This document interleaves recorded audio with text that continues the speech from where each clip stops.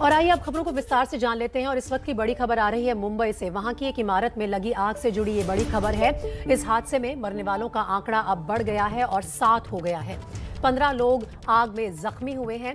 मुंबई के ताड़देव इलाके में आज सुबह रिहायशी बिल्डिंग में आग लग गई थी। जानकारी ये मिली है कि आग बिल्डिंग के पंद्रहवें फ्लोर से शुरू हुई और ऊपर की मंजिलों तक फैल गई।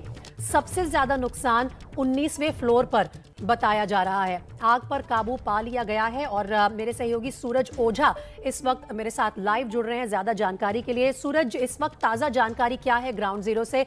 आग पर काबू पाने के लिए 21 गाड़ियाँ मौजूद थी। क्या अब काबू पा लिया गया है? प्रीति, फ़िलहाल आग पर काबू पा लिया है। मैं आपको एक बार दिखाना चाहूँगा कि देखिए आपको वो काले निशान दिखाई दे रहे होंगे इस बिल्डिंग के। ये कमला बिल्डिंग है जो कि मुंबई सेंट्रल में स्थित है। ये आग पहले पंद्रहवीं मंजिल पर लगी, फिर धीरे धीरे आग ऊपर चलने लगी और ऐसा बताया जा रहा है कि अठारह और उन्नीस माले पे ज़्यादा नुकसान हुआ है।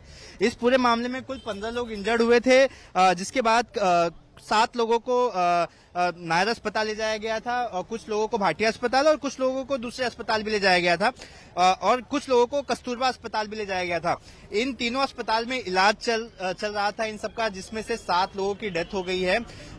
फ़िलहाल पुलिस इस पूरे मामले में एडीआर दर्ज कर रही है और ये भी इंक्वायरी कर रही है कि आखिर आग लगने का कारण क्या हो सकता है। फ़िलहाल इस पूरी इमारत में जो गैस की लाइन थी, उसे उसे डिस्कनेक्ट किया गया है, बिजली की लाइनों को डिस्कनेक्ट किया गया है।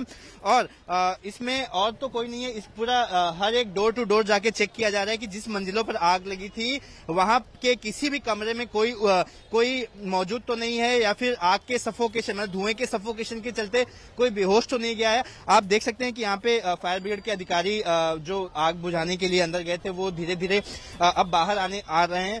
ऐसा बताया जा रहा है कि आग पूरी तरह से नियंत्रण में आ चुकी है बुझ चुकी है। लेकिन जो प्रिकॉशनरी मेजर है आफ्टर जब आग बुझ जाती है उसके बाद का जो एसओपी है उसे फॉलो किया जा रहा है ताकि आ, किसी भी ठीक है सूरज आग दोबारा न लगे। जी सूरज फ़िलहाल इस तमाम जानकारी के लिए बहुत बहुत शुक्रिया और आगे के अपडेट्स भी हम आपसे लेते रहेंगे।